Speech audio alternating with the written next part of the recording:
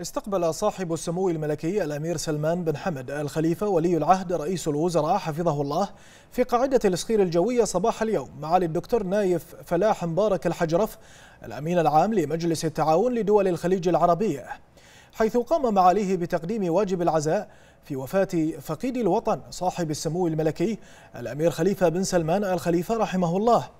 وقد أعرب صاحب السمو الملكي ولي العهد رئيس الوزراء حفظه الله عن خالص شكره وتقديره للأمين العام لمجلس التعاون لدول الخليج العربية على مشاعره النبيلة في هذا المصاب.